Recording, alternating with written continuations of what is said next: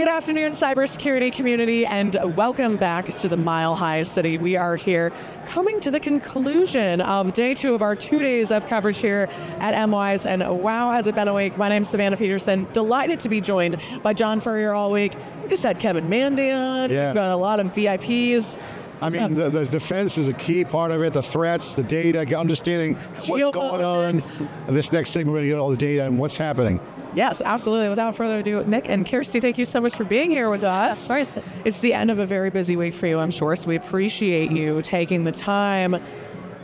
One of the topics that I've been bringing up on the show today, and we've been discussing, is dwell time. You presented on this. Kirstie, can you just give us a little highlight, like you just give me that lovely summary of what you presented on so everyone's on the same page? Yeah, of course. So, um, dwell time really is the uh, period between the initial intrusion of an environment to the point when it's detected. Um, so, my talk uh, at MWise yesterday was about, um, you know, we the the industry is focused a lot on the it's getting better. Um, dwell time over the years has consistently gone down, but um, like we spoke about in our talk um, earlier yesterday, um, there's always this weird spike at between six months and five plus years where um, there's still this like weird little uptick of a significant amount of data in our data set to cause a blip. Um, and we really wanted to look at that. What is causing that? Because it's really great to look at the, yeah, it's getting better, but what are we doing to curtail the long standing stuff as well? So, so what is causing that? Yeah, so Tell us.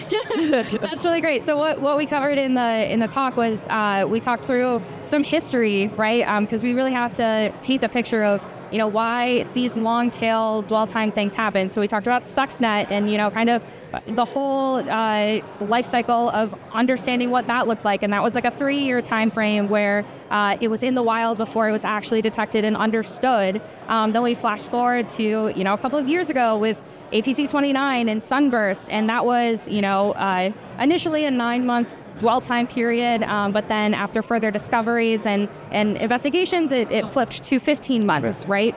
Um, and those two are really, you know, kind of targeted and more espionage related. Um, so then we flew it back and took took a, a bigger picture into looking at like malware distribution groups and talking through like um, all of these opportunistic attacks also provide attackers with sometimes very long um, tail access into an environment because one, they're really hard to get rid of once they get into the environment, and two, um, they have gotten really savvy and like uh, started to evade detections in a lot of ways. Um, and then we kind of rounded it out with talking about vulnerabilities, specifically Log4j. That one we're still seeing in 2024, um, and I think everyone across the world is still feeling the ramifications of that one. So um, we, it was really interesting. We got a lot of great questions about like how do we how do we think about dwell time in the case of vulnerabilities, um, and to which I answered, you know, we have to look at is your time to patch for your internal environment the same? And can you match? Can you be faster than the time to patch for the vendor that has put out a patch right? Because if your time to patch is not you know in the same window then perhaps you're going to fall into that long tail dwell time period. So when you're thinking of vulnerabilities Yeah. think about it a little bit that way. So, talk about what you guys do on a daily basis, Nick and Kirstie, because you guys are analyzing, but you're rolling up the data. Um, what are you looking at? So, explain what you guys do. What's your role? Sure. And, So, uh, and what do you guys do on a daily basis. Uh, we're both on the same team. We're on Mandiant Intel's Advanced Practices team. And what we do on our team is provide sort of analytical context and attribution to frontline intel. So we've got our managed defense team and our consulting IR, the guys that go out and do incident response. So we're embedded real time with them for their investigations, and it just goes through that whole intelligence life cycle. They're doing discovery, finding some IOCs, like an IP or a domain or maybe a hash. Yeah. We take that, do some discovery, and we go, oh, hey, this is Fin7 or Yeah.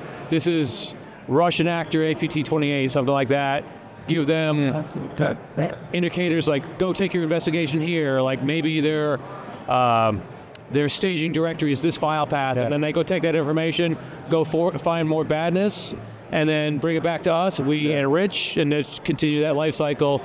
Feed it out to the rest of the company, so other Yeah. Yeah. teams like the espionage team or the fin crime team or Yeah. you know any of the other various teams across Mandiant and Google can leverage that information. You guys go and c- dig a big tunnel, get close to the data, and find out all that detective work. Yeah. Uh, super valuable. I mean, we heard from Kevin earlier, response times are critical uh, doing that. But also, we heard from John when he was on about the espionage pattern, Yeah. Yeah. which is get in there and, and hang out. Yep. Don't dwell, but don't move. Right. And then move carefully versus ransomware smash and grab. Yep. Exfiltrate all that data. In some cases, don't even encrypt it. So, kind of two patterns. Yeah. Is the espionage data look different than, say, some of the other criminals or on the dwell time? Can you explain how that's all working? Yeah, so it's actually pretty interesting. Um, so the the concept of the talk was really, you know, me and one of the other uh, folks that were uh, part of the M Trends uh, report last year. We were talking about uh, how she thought that it was actually like all of the ransomware stuff is at the front end of this, right, and then all of the espionage is at the end. And I was like, well, it kind of depends. Because sometimes you do have financial actors that are in there for a really long time. So if you think about, uh, you know, financial actors like Fin7 or Fin6, historically their whole gig was about going in and staying in the environment to capture all of this data. So they're in there for a really long time. They don't want to be seen. They don't want to be heard. They don't want to be noticed. Um, but then, you know, obviously in the ransomware space and like cybercrime underground space with extortion and everything, they want to get paid and they want to be as loud as possible so that it's impossible to hide from it, right? Um, so it's it the criminal ecosystem is really changing it up, um, and I think you know we've gotten pretty good at the espionage stuff too. So that's that's How do you flush them out?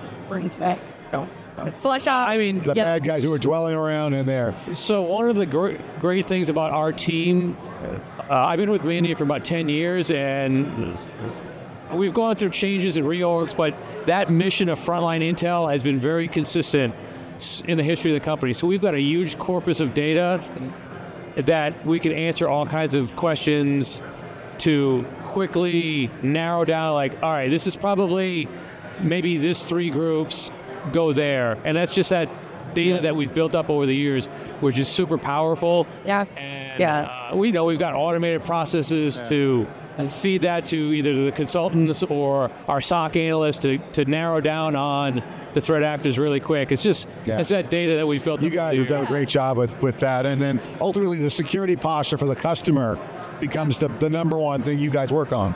Yeah. What are, they, what are they? How are they reacting to this? Are they set up for it? Do you guys have to work with them on their side? How does your team engage the customer Yeah. to make sure that's a nice, smooth consumption experience? Yeah, so I have to I have to hand it to our customer facing folks like the consultants and like our managed defense consultants because they're the ones handling those conversations. We have our you know strategic team going in and talking through all of that, but um, RT really does feed uh, a lot of the indicators, a lot of what those threat groups are attacking to those groups so that they understand you know where we can where we should be focusing a little bit more on or what should be a higher level for risk assessments within the board uh, within the boardroom and stuff. Uh, and uh, I think from us looking at the security posture side of it, um, we are really we are really in a great in a great position to say, you know, this is how attackers are constantly getting in across every type of industry, vertical, um, regardless of what their motivation is, right? Um, so perhaps maybe I don't know, we should be implementing MFA at the beginning of our setup process as opposed to it being a secondary action, right?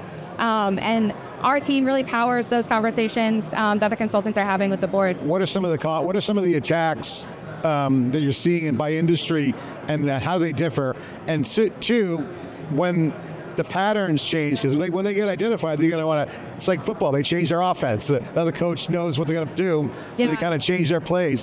What are they evolving to? Because there's a lot of that going on. We're hearing that here at the show, Yeah. big time. That hey, people they're adapting. Yeah, Uh, what's the adaptation look like, and how's that changed by industry? Yeah, so I think um, by industry is a really interesting question. We always get it, um, but uh, I always avoid that because it's like we're looking at it from our viewpoint, so I can't talk about it from like the whole industry. Yeah. I don't have full picture, but what we're seeing just generally is like um, you know exploits will continue to be a very big thing, like Jen Easterly was talking about Yeah. um, t- in today's keynote. Um, but also, uh, I think phishing has been moving up and down in the M trends, um, in, intru- uh, initial intrusion vector uh, standings over the years, and I think that that's going to continue. Cred. Um, credentials. credential theft. Um, we Yeah. see, we have seen this uptick in um, drive-by downloads uh, for info stealers. Um, so, uh, you know, cyber hygiene in an organization is going to be incredibly impactful for a secu- uh, security program, right? What in the context of understanding our risk, right? Is a user allowed to uh, browse random sites, right? Um, are they looking for things that you know perhaps maybe should be uh, offered through a self-service portal like a um, a VPN, uh, you know, um, uh, endpoint, right? Um, you know, we, we see attackers leverage those types of things all of the time, uh, and those are infected with some info stealer malware that they are now pulling down all of these creds and then using them either to sell off to a public forum, uh, which then attackers are buying access through that. And we see things like um, UNC 3944 going in and smashing and grabbing and all So what's the update on the on the multi-factor authentication? And people trying to bypass that is that an aggressive tactic? And what's the status of that? Because I do two-factor authentication all the time, and I can't forget what my password is. Yeah. And I know people have hacked that. What's the the pattern Yeah, on so- bypass? Uh, we've had some pretty interesting cases um, over the years. Um, a lot of times it's either miscon- uh, misconfigurations of MFA where uh, Or, uh, users, Fatigue. yeah, or fatigue. push fatigue. Um, so uh, the misconfiguration would be that any user could enroll a device as long as they had the process to do so. Um, or push fatigue, like Nick was mentioning, um, which is essentially the attacker is just spamming um, at two o'clock in the morning for the owner of the device, and they're just like, They trying just to like get it to shut it off. Or click OK and Yeah. that's it. Yeah. Or they're doing something called um, SMS phishing. Um, so they will do a fun um, technical thing where they will steal a SMS uh, de- device essentially and take over your phone number. Um, and use your phone number to get into your account. Um, that that's a more sophisticated way to bypass it, but it is. Well, I mean, a lot of people have Few a of my friends about this happened recently, Yeah. and it's it's been pretty it's it's pretty spooky. pretty- I, I think it's it's the the beginning of what will happen a lot more Yep. in terms of trust. Because now, yeah, I, I I'm curious what other you, you've described. You see a lot of creative chaos in nefarious behavior, for Yeah. lack of a better way to put it, and you, and it. Obviously, there's trends, patterns, and some other stuff, but I, I feel like, and tell me if I'm wrong, tell me your opinion on this, but I feel like not just because of AI, but just in general, because there is a lot of attention on cybersecurity right now. There's a much bigger conversation about the geopolitics. I mean, we just saw what happened in Lebanon. There's a, there's a there's security is top of mind in a way that it's not always right now, and I'm curious to see. Do you think this is uh, stirring more creativity within bad actors to get creative since we're getting smarter and and I mean this global median dwell time of 10 days is less. Like you said it is getting better and in, from that side of the lens of it. So is it folks now just doing what they've always done in a slightly different way or are we seeing slightly more I think that, I mean, I've got uh, some property in a very rural part of Virginia, and when I have neighbors, and they know where, where I, what I do and what I work for, and they're asking me about cyber stuff. So when it gets down to, you know, your neighbors asking about that stuff, you know that it's it's out there. It's not just us talking Yeah. about it. So Yeah. so yeah, these guys are continually improving and innov- innovating to to make that dollar or to get into those you know Fortune 100 companies. So this this like we we see it all uh, from you know the espionage stuff to destructive stuff, ransomware, uh, a little bit of insider threat. So, but they're yeah constantly trying something new and something some new technique. Give us a taste of some of the innovation you've seen on their side. If you had to kind of look at that's the op- opposite team, so to speak, how would you? What would you see would be like an interesting? Like wow, actually good. Yeah. I mean, you got to know the enemy. You got to be. Yeah. You know, yeah, I, I respect that move. We got you though.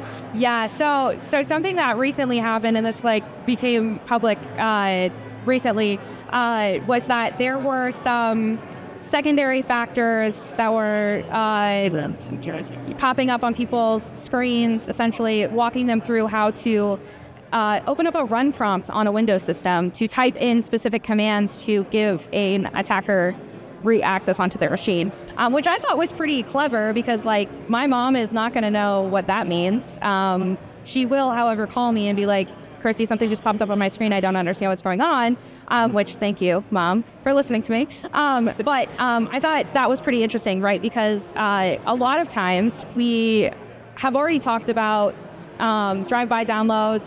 We've talked about phishing with uh, malicious links or phishing with malicious attachments, but we haven't really ever seen a attachment in an email that directs the user to do the thing that the threat actor is already trying to do to provide them access, right? Um, and that's a little bit harder to detect with security tools, right? So um, on the defender side, we have to get a little bit more creative too and like understand what we're looking for and how we're looking for it. Because if someone in, let's say, marketing is uh, opening up a run, is opening up a terminal on a Windows system, that's probably not their normal day to day action. And if there's not a service ticket assigned to that system where an IT person is going to go and run that, like if there are marketing people that are running things out of a, a run terminal, like congratulations, that's amazing. but generally speaking, that's not happening. So, Also, maybe something worth looking at. Right. Yeah. So so that weirdness that's happening, um, a good SOC analyst will say, "Hey, that's weird," and let's go look at it. Um, And that's something that AI will never replace. That's something that um, you know you can't really teach. That that interest in understanding why is that happening. Uh, that's something that we'll never replace, and that's the reason I think we all have job security. hey, I'm with you on the job security front, but I do think you're right because it's context and nuance. That I mean, that, this isn't just the same blatant. I'm going to hack into your system and steal your bank Yeah. password when you log into you know Bank of America. It's much more sophisticated than that. To your point, which I think is kind of kind of compelling. I really appreciate the enthusiasm that you have, Kirstie, and I'm curious because there's probably a few things. And Nick, I want to know your answer to this, but I'm just feeding off your energy for a sec. What excites you the most about the cybersecurity landscape right now? Oh gosh. Um, What's important?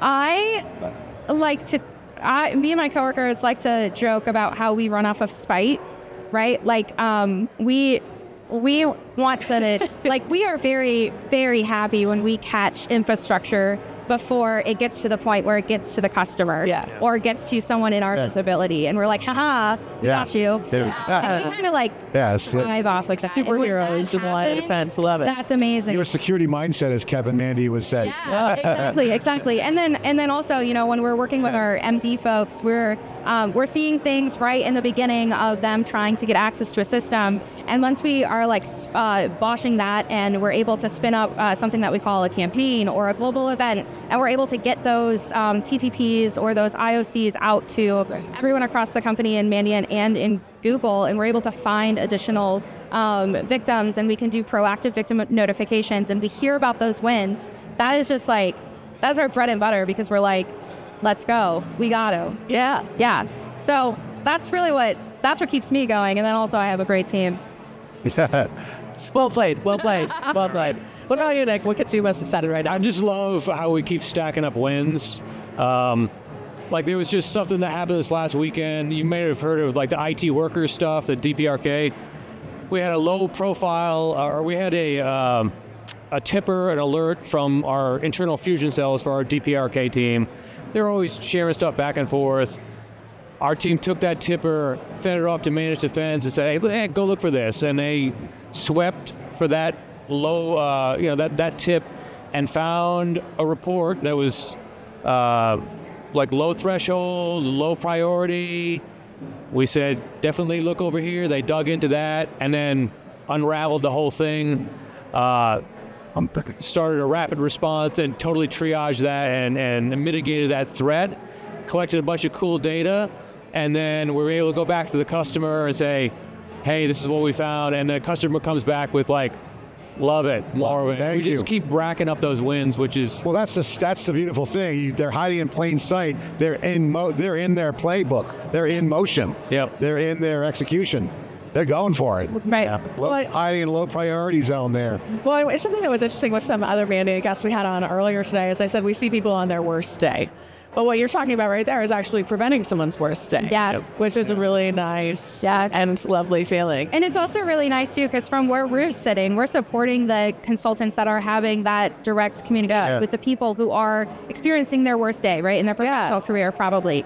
Um, and when we're able to deliver, like, hey guys, we have all of this information, go find all of this stuff. Here's like four steps ahead of what you probably have already been thinking about. And even like walking into uh, what we call an inbound, right? We have a customer calling in and say, we have a problem. Um, they come to our team Yeah. and they say, They get the bat phone out. yeah, they're like, hey, awesome. do, do we have any Yeah. information about any of this? And we're able to tell them, here's X, Y, Z. And sometimes it's part of a global campaign or something, and we're able Yeah. to say, hey, here's everything that's going to happen, and we can prep the customer on it or the potential customer. And even if they don't sign up with us, they get that information Yeah, out we, of we've got automation built in. Oh, we think that this might be UNC 3944. Hit a button, spits out a playbook. Yeah. The consultants can go into that inbound and be like, look in your system there, and Yeah. it's really Yeah. a value add. Yeah. Even if you don't sign with us, here's everything that you have to do. Yeah. the next people that you're talking to don't say that, come back to us. We won't be. You know, it's it's also private victory, like you were saying. It's like yeah. intrinsically, you guys, is, the way your culture is, that's like the wins, like just beautiful. Yeah, that is beautiful. All right, on the flip side of that, now that I'm curious, because those were two great answers, what do you think is the most overhyped thing in cybersecurity right now? Nick, I'll start with you since Kirstie went first last time.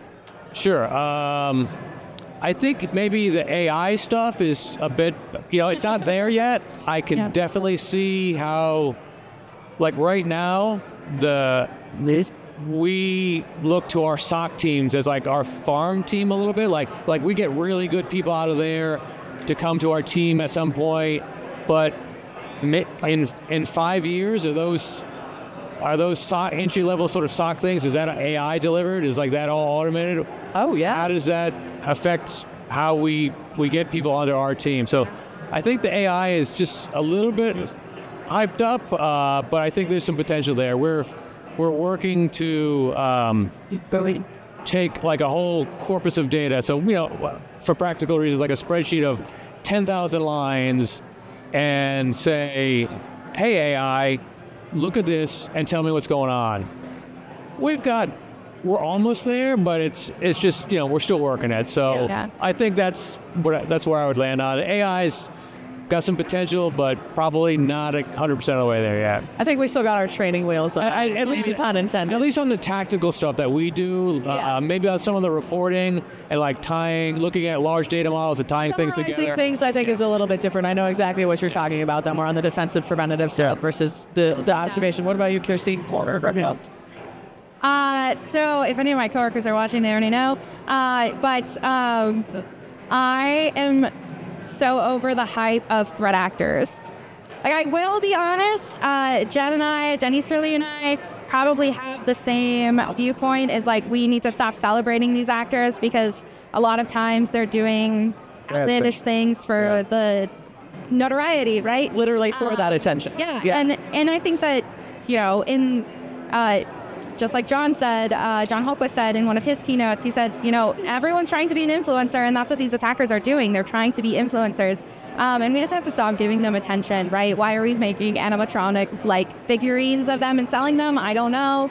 Um, but uh, you know, it, there's a lot of work that goes into understanding who these threat actors are and getting all of the information to understand how they're doing the attacks, why they're doing the attacks, and um, getting that information over to law enforcement to help do some sanctions or takedowns or whatever. And that work should be celebrated. I just don't know that we should be putting the emphasis on the threat actor.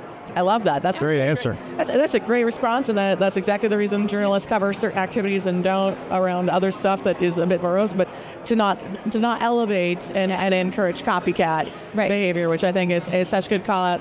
All right, I want to conclude this interview on a really personal note since you brought it up. Oh no.